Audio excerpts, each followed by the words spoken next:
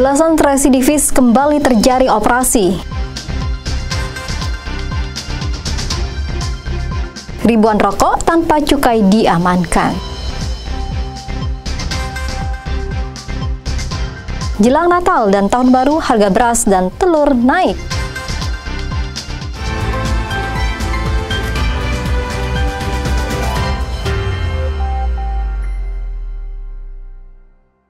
Saudara, selain ketiga informasi tadi, sejumlah informasi dan berita menarik lainnya akan kami hadirkan untuk mengisi rangkaian Kompas News Bangka Belitung hari ini. Jadi pastikan Anda tetap bersama Kompas News Bangka Belitung. Selama 30 menit ke depan, kita jelang berita pertama, Kompas TV, independen, terpercaya. Bersama saya, Meita Janiarti. Inilah Kompas News Bangka Belitung, selengkapnya.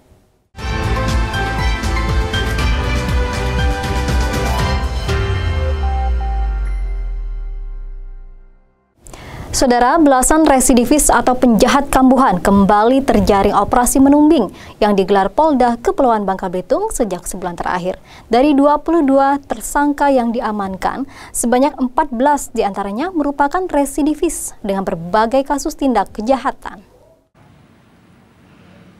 Dua di antara pelaku kejahatan yang terjaring operasi dilumpuhkan polisi dengan tembakan di bagian kaki Selain pelaku, juga diamankan berbagai barang bukti seperti satu unit kendaraan roda 4, 6 unit kendaraan roda 2, mesin genset, televisi, 20 gram sabu, serta sejumlah handphone. Hasil penyelidikan sementara pihak kepolisian, para pelaku kerap meresahkan warga dan beberapa di antaranya melaksanakan tindak kejahatan disertai aksi kekerasan. Dari 22 tersangka tersebut, 14 di antaranya adalah penjahat eh, kambuhan atau yang kita istilah residivis.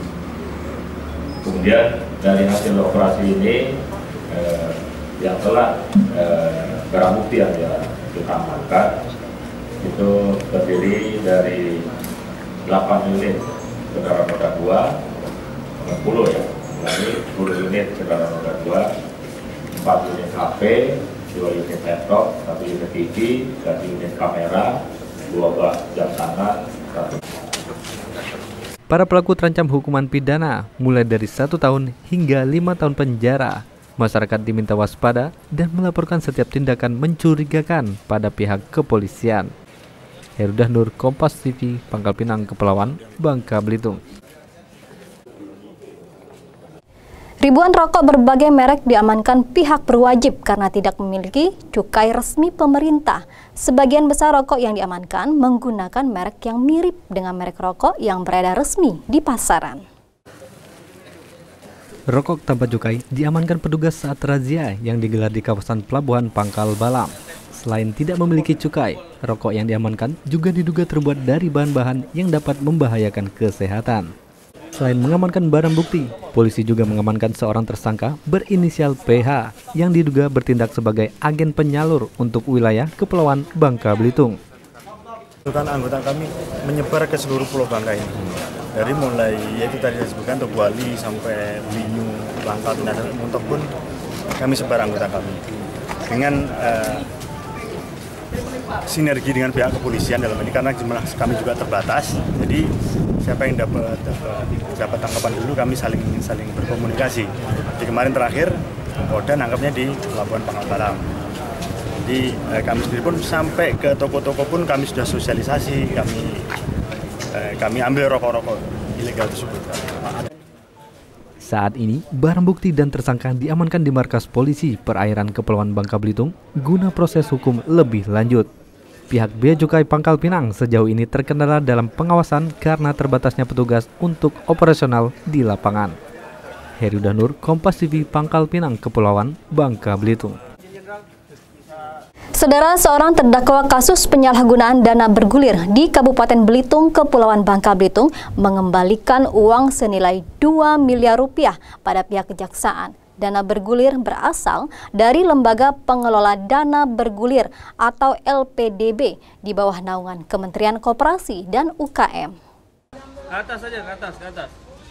Ke atas saja. Pengembalian uang oleh tersangka ini dilakukan dua tahap, yakni tahap pertama senilai 300 juta dan tahap kedua 1,7 miliar rupiah. Pengembalian uang dilakukan terdakwa Suwidi yang kini menjalani persidangan di Pengadilan Tipikor Pangkal Pinang. Uang senilai 2 miliar rupiah dipinjamkan terdakwa saat menjabat sebagai Direktur CV Billiton Makmur pada tahun 2011. Pihak kejaksaan menemukan adanya dugaan pelanggaran dalam persyaratan dan penggunaan dana pinjaman pemerintah yang dilakukan terdakwa. Saat pengajuan dana, terdakwa juga telah menerima dana pinjaman senilai 7 miliar rupiah dari BNI Tanjung Pandan. BRI sebagai penampung dana titipan dari kejaksaan.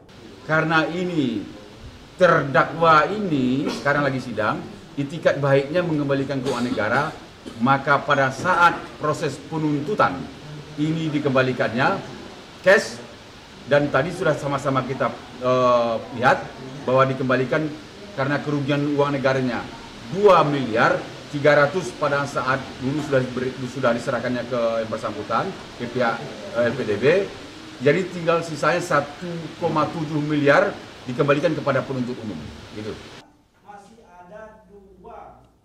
Suwidi dijerat pasal 2 Undang-Undang Topikor dengan ancaman hukuman maksimal 20 tahun penjara.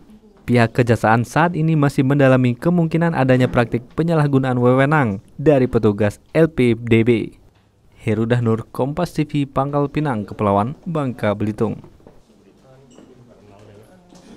Saudara tetap saksikan Kompas News Bangka Belitung selengkapnya usai jeda berikut ini. Kompas TV, independen, terpercaya.